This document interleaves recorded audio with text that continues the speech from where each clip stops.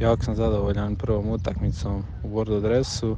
Za početak jako dobro s obzirom da sam postigao ovaj gol. E, mislim da debi nije mogao čak ni bolje proći. E, ulogom e, u ekipi sam apsolutno zadovoljan i nadam se da ću se kroz utak, sljedeće utakmice i treninge još više standardizirati na poziciji i u igri i da će u nadolazećem razdoblju to biti još bolje.